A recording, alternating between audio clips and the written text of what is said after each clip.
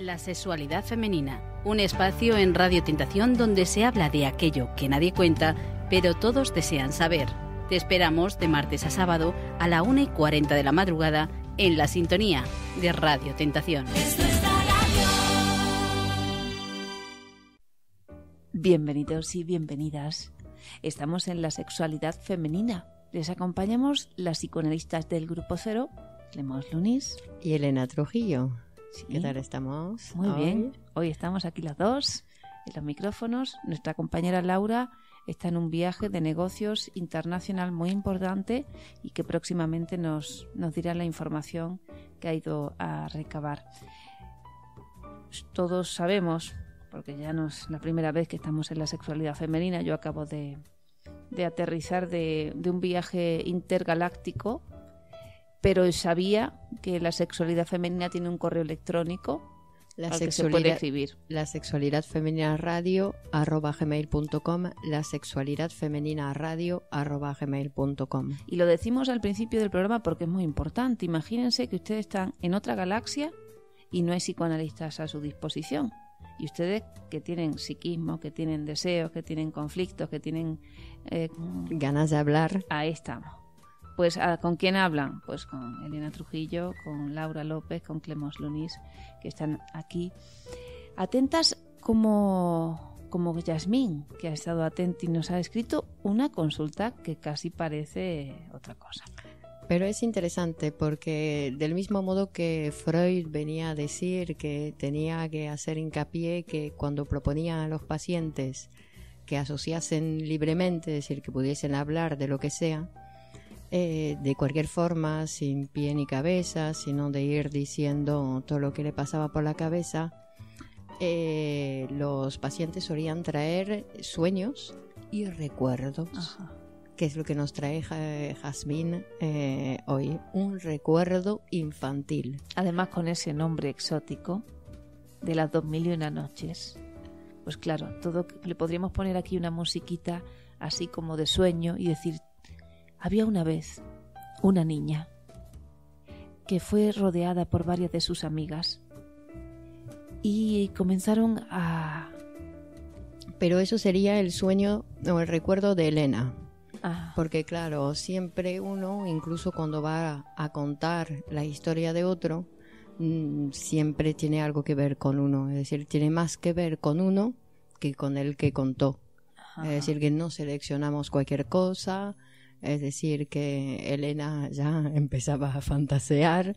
Otro recuerdo suyo puede ser. Pero lo que es interesante ahí. Ajá, perdón, perdón. Si hablamos de los sueños, o en este caso recuerdos que van a motivar la conversación de hoy, eso que tú dices es súper importante, porque cuando estoy a veces eh, dando clases o conferencias sobre el tema de la interpretación de los sueños, que siempre suscita tanto interés, siempre se reincide en esa idea de que hay una, una interpretación simbólica o estandarizada para, para los sueños de una determinada tipología o que lo mismo que te lo cuente, como tú dices, eh, yo pienso que es lo mismo que te lo cuente yo, que te lo cuente el soñante y además de pe a pa como ha sucedido. Te hacemos esperar, Jasmina. Te hacemos esperar, ¿eh? Estamos desviando. Sí, perdón. Somos un poco sádicas como tus amigas. y entonces los sueños, Elena. Pues eh, como tú has dicho, lo importante no es el sueño en sí o el recuerdo en sí, sino lo que Jasmine nos viene a relatar, lo que el soñante, lo que el paciente nos viene a relatar, con todas sus modificaciones, eh, ya que es un proceso de asociación li- libre. No nos interesa tanto el sueño soñado, sino lo que contemos, ese nuevo nivel de objetividad que son las palabras. Lo mismo con el recuerdo, es decir, que tampoco uno se vaya a intentar eh, plasmar exactamente el recuerdo de quién estaba, que no, que sí, que era ella, que no, que no era ella, que no tiene importancia. Lo que mm, importa ahí es hablar, contarlo, que de todos modos eh, vamos a contar lo que nos interesa, es decir, que el paciente siempre va a contar lo que quiere contar. Perdón, Clemence. No. Y, y- y estamos contestando de alguna manera esa consulta de, de Yasmín. ¿Por qué es tan importante hablar? ¿Por qué necesitamos hablar? ¿Por qué ese espacio tan privilegiado de que alguien nos escuche?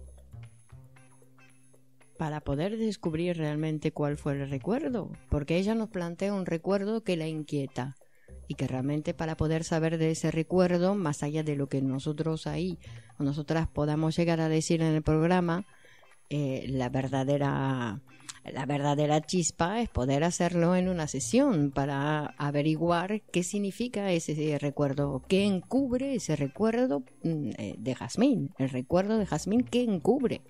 Bueno, Porque eso sin, sin análisis, sin asociación, no se puede saber. Claro, fíjate Freud en la interpretación de los sueños, en uno de los primeros capítulos, el, donde nos habla del método de la interpretación, él mismo va a hablar de esa complejidad. Por un lado, que nos, va a poner, va a exponer ahí un sueño de cualquiera de sus pacientes por las condiciones lógicas de la privacidad, por eso no podemos interpretar aquí en público el, sueño o el recuerdo de Yasmín y como tú bien dices tiene que hacerse, se puede tiene que hacerse se puede. No es que nos quedamos con un secreto no se puede. No, requiere al paciente asociando libremente y al psicoanalista y dentro de esa relación transferencial. Y ahí Freud además va a decir, dijo el otro día que, leía el texto algo muy importante, dice, no, la interpretación no está en mí como psicoanalista, no está en mis ideas o mis eh, elucubraciones, sino que la interpretación está en el paciente.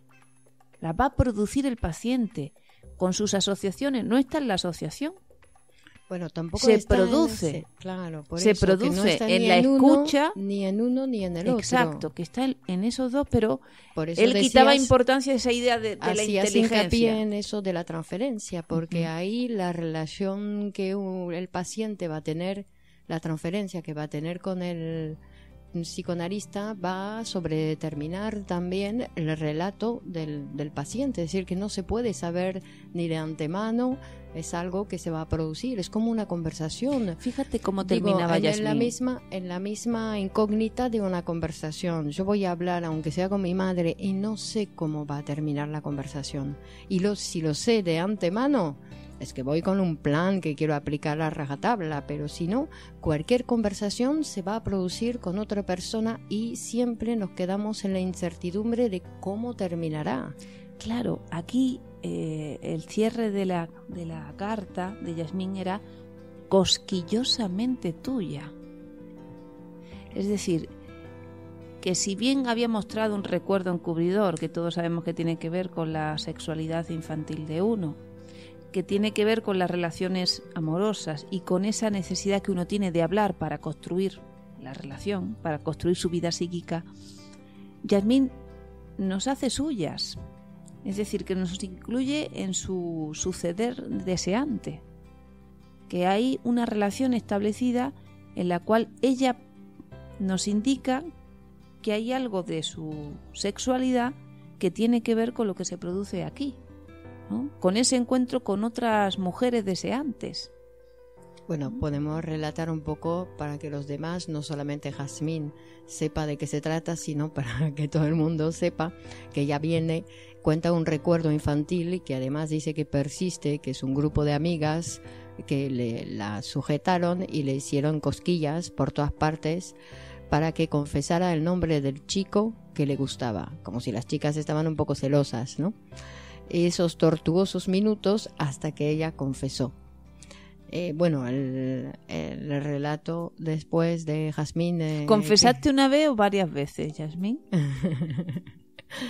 claro, pero que el, el relato del recuerdo sigue, con, incluso con algunas asociaciones, pero que el recuerdo le inquieta esa persistencia, porque a veces la verdad es que uno se acuerda, bueno, de tal cosa cuando habla con un amigo y bueno, no tiene más importancia si no es en una sesión psicoanalítica. Pero ahí lo que le inquieta es la persistencia de, esa, de ese recuerdo, es decir, qué encubre el recuerdo que motiva a la repetición del recuerdo. Digo que son cosas que, no sé, Elena. Que le llama la atención. Dice, si algo que. porque dice, fue desagradable, porque todos sabemos cuando te hacen cosquillas es una reacción física de desagrado. y a la vez de excitación suma. Además, dice, eran varios dedos recorriendo mi cuerpo. Uy, uy, uy, uy, uy, uy. No queremos entrar en más. Pero, claro.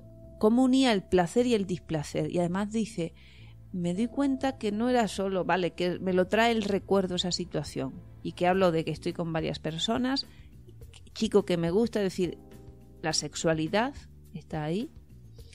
Eh, pero también habla luego de ese componente erógeno de la piel que permanece, ¿no? El papel que las cosquillas, que es cualquier contacto físico, y sabemos, además es interesante y la neurosis obsesiva y nos lo muestra también. La neurosis sorpresiva, obsesiva y sorpresiva también, ¿no? Como el contacto físico es una cosa, pero luego está el contacto de las palabras, que generan la misma, el mismo efecto que si yo tocara a una persona. Que lo obsesivo que ha erotizado su pensamiento aísla unas palabras de otras porque unidas serían, eh, eh, les produciría una gran excitación y eso les causa angustia. Entonces, bueno, tenemos que ver cómo la complejidad de la vida psíquica nos lleva a asumir que no son respuestas que no tienen que venir dadas del exterior, porque las respuestas ya están en los libros de Freud. Sin embargo, eso, esa lectura o ese conocimiento no va a modificar para nada la relación que cada uno de nosotros tiene con su goce. Que yo creo que va por ahí lo que, ¿no? lo que nos muestra Yasmín. Cómo yo puedo hacer frente a mi goce cuando ¿no? lo está eh, incluido para mí en elementos desagradables y además pasados. Bueno, desagradables, desagradables. Mm, ¿A ti también te pasó que tus amigas te tocaban? No, pero me imagino varias manos sobre el cuerpo de uno, poder atraer así el interés de varias eh, manos femeninas, puede llegar también a, a tener un cierto placer, es decir, que más allá de la del displacer de la de no poder resistir ¿no? porque la, la, cosquilla es eso es para porque no puedo resistir a la excitación bueno y algunas personas que les resulta tan desagradable que casi tienen un ataque de, de angustia con sí bueno que sí que cada uno hay de todo frente lo que hace sospechar cierta cierto rechazo exagerado como que le excita demasiado ese contacto, ¿no? Claro, es decir, que... venimos a decir con el ejemplo de las cosquillas que no es fácil llevarse bien con su, su propia excitación. Es decir, que estar excitada, que muchas veces no sabemos cómo derivar esa excitación, aunque sea sexual, aunque sea claramente sexual, aunque tengamos el partener al lado, es decir, que no es fácil llevarse bien con o saber cómo derivar esa, esa y energía. sobre todo lo, lo, complejo, que eso que, estás diciendo, es que nuestra sexualidad, nuestras excitaciones, nuestras inquietudes son producidas por personas que aparentemente no nos gustan, que aparentemente no nos caen bien. Que bueno, que no solamente, Elena, no solamente que también, es decir, que efectivamente no Que el inconsciente no juzga, no calcula, que aprovecha cualquier oportunidad para expresarse. Claro, es decir, que al, algún lazo, alguna unión, que el, otro significa algo para mí, aunque sea algo Bueno, de eso hablaremos del proceso de identificación en otra oportunidad, donde explicaremos cómo que lo que el otro tiene, yo ni siquiera lo sé. Claro, lo que tiene para mí. Claro, claro, por Pero supuesto. como tú dices, para que haya una persona en tu alrededor que te agrade o que no te agrade, es decir, que no sea indiferente, ya uno ha operado un proceso psíquico que se llama identificación, que toma rasgos conocidos o familiares del otro, ¿no? como si fueran unos rayos X, que inconscientemente te van a permitir conectar con el otro. De buena manera o de mala manera. Pero de manera sexual pero de manera sexual. Sí, oh. bueno, pero también porque decimos nosotras que todas las relaciones son sexuales. Claro, claro es, una energía. conversación, claro. Es como la corriente eléctrica, que no lo piensen. que no es siempre para llegar a lo genital, sino que todas las relaciones se tenemos se que hace- ampliar tenemos que ampliar la Claro, porque si no caemos en eso y que parece que siempre queremos follar con todo el mundo a todo momento. pero pero Clemence cómo dices esas cosas con lo seria que yo soy Bueno, pero dicen que el ser humano antes era, bueno, se reproducía porque tenía que reproducirse. no tiene pero, otra cosa que hacer Bueno, cuando tiene mucha cosa que hacer no puedes estar todo el día de que te exacto, pego por eso, por eso desviaron nuestro interés del sexo y nos mandaron a trabajar, a amar, a escribir. Ay, ¿Algún día le podemos poner la canción El sexo divina porquería? Por supuesto, yo creo que ya la hemos puesto en algún momento, Pues hay que seguro. repetirla, Hay se, que tienen que, repetir. ca- se la tienen que conocer y ponérsela a sus maridos, a sus mujeres, a sus amantes, a sus niños en el cole, ahí el sexo, el sexo, cuando vayan al colegio se lo ponen. Bueno, Elena, qué exagerada. Pero claro, pero incluso la, la, la canción que habla del sexo, del sexo divina porquería, pero que es, todo el es- mundo quisiera controlar. es decir, que todas las relaciones humanas queremos controlarlas. Eh, nos cuesta dejarnos llevar por lo que la sorpresa que va a venir a ofrecernos el otro o lo que nosotras también o nosotros podemos sorprendernos frente al otro. Entonces queremos pensar, me voy a encontrar con Juanito después y le voy a decir y va a pasar tal cosa y haré tal cosa y voy preparando. No, entonces eso es no estar viviendo el momento presente, ya estoy eh, previendo algo que no va a suceder y además fantaseando algo que no- sí, que eso que no va a suceder, es decir, que no estoy en la realidad, Pero hay algo que sí va a suceder, Clemence Lunis, que se va a terminar el programa. y que nos vamos a encontrar la próxima. Sí, les recordamos el correo electrónico al que nos pueden escribir si desean comenzar su psicoanálisis o si desean realizarnos cualquier consulta o sugerencia. La sexualidad femenina radio arroba gmail.com la sexualidad femenina radio arroba gmail.com hasta la próxima un abrazo adiós Yo lo quiero, yo lo quiero. La sexualidad femenina, un espacio en Radio Tentación donde se habla de aquello que nadie cuenta, pero todos desean saber. Te esperamos de martes a sábado a la 1 y 40 de la madrugada en la sintonía de Radio Tentación.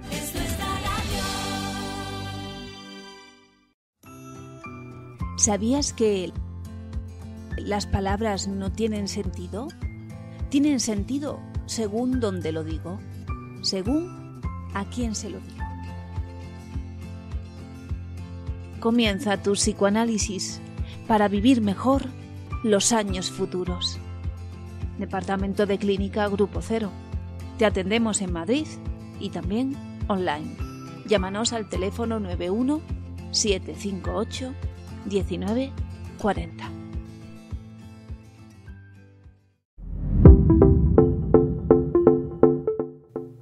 Con Servicios Lunis, aprende un idioma con profesores de calidad.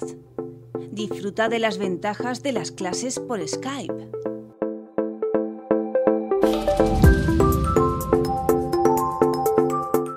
¿Por qué elegir una buena profesora? Porque una buena profesora transmite y eso facilita el aprendizaje. Ahorras dinero y ganas tiempo. Aprende bien y rápido. Los dos meses que llevo en estas clases me ha ayudado muchísimo. Te motiva a que estudies en cada clase para que no te quedes atrás. Los diálogos, los debates creados en clase, las correcciones escritas, la flexibilidad de horarios. Eh, Estas clases son únicas, especiales y con un toque de incertidumbre. Te mantiene siempre ese, ese grado de ilusión, de deseo por aprender.